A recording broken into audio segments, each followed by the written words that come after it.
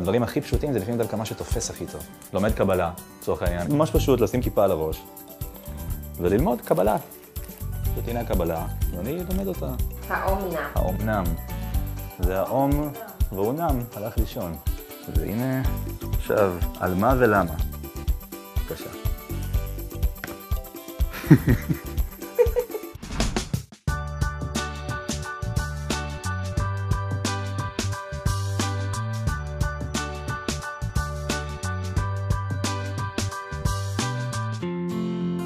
אני יעל ילין, בת 27, אה, מנהלת את אה, מטבעות לשון ביחד עם אביב. אני אביב ילין, בעלה של יעל.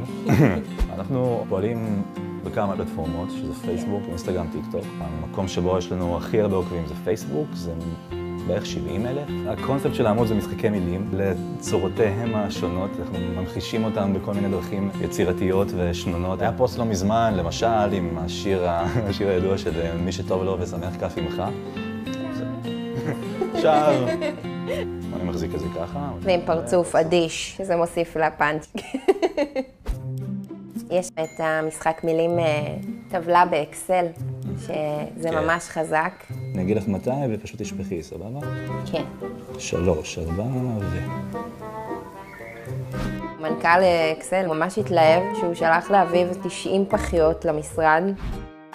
התחלנו בדברים ממש אה, לא מושקעים יותר מדי, ככה צילומים די שרירותיים כזה על הדרך. עם השנים לקחנו את זה כמה צעדים קדימה, הרבה אפילו. נסענו במיוחד להרבה לוקיישנים, הזמנו המון דברים, בזבזנו על זה המון כסף. טוב, הנה דוגמה, יש לנו כאן ארגז, מה הקטגוריה שלו? גוף האדם. כן, יש פה המון עוברים. אנחנו רוצים לעשות משהו עם המילה עובר ועובר. עוברים עובר. ושווים, עוברים ושווים. מה המקום הכי רחוק שנסעתם אליו בשביל תמונה? רומא. רומא, כן.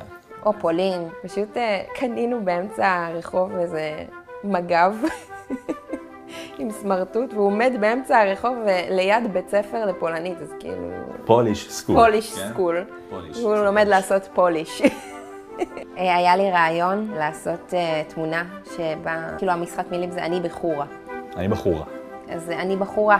אז לקחנו את אביו, שמנו לו פאה, עוד אה, איפרתי אותו, נסענו לחורה, אמרו לנו תיזהרו, המוות." זה כיכר המוות, ולא כדאי לכם להיות פה, מה אתם עושים פה? אני נראה כמו איזה- כמו איזה דרג קווין. אני הייתי בספק אם נצא משהו בחיים.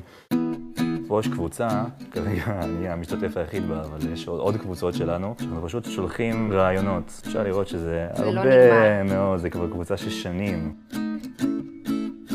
אנשים לפעמים עושים איתנו סלפי, אה, מזהים ברחוב. אלי פיניש פרסם אצלו, עשינו כזה תמונה של פינישים קטנים כזה לפסח.